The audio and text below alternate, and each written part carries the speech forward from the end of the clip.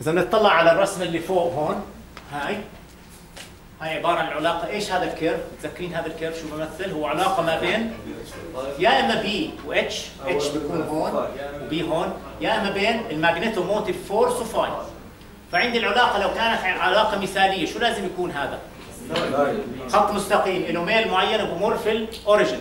فكل ما زدت ال magnetomotive force بزيد phi. ولو كان مثالي مثالي بكون ماشي لل infinity. من هون ومن هون. بس الحياة مش هيك. شو بصير عندي بعد فترة؟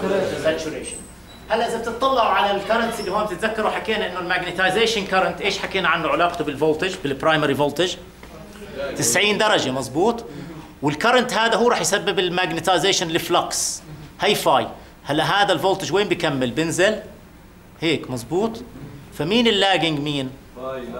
فاي لاجنج في بي بالضبط. فإحنا قلنا هذا ال current it's lagging by 90 degrees هلا هذا ال phi عندي هون العلاقة ما بين phi راح اسقط phi وين؟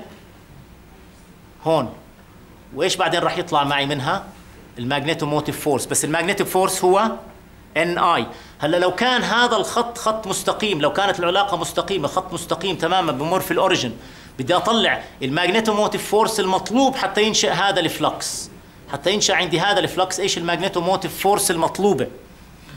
لما بضرب هذا الخط هين راح آخذ الخط اللي هو phi ال solid راح آخذ هون وأضربه بهاي القيمة وراح يعطيني القيمة المكافئة لها هون. هلا لو كان هذا خط مستقيم إيش راح يطلع معي شكل ال curve اللي هون against time لاحظوا هذا صار زمن هلا هون. أنا قلبت 90 درجة صار هذا زمن. شو كان راح يطلع معي ال magnetization current sinusoidal بس شو المشكلة بتصير عندي؟ في عندي هون non-linearity شو ال non-linearity اللي هون؟ هذا مش خط مستقيم.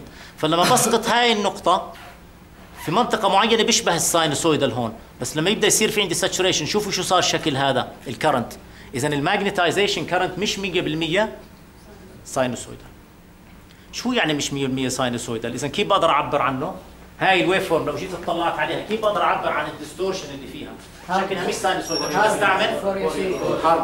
لو حللت هذا راح الاقي بتحلل ل component sinusoidal له نفس ال frequency بس تكون في components إيش لها frequency أعلى ولا أقل؟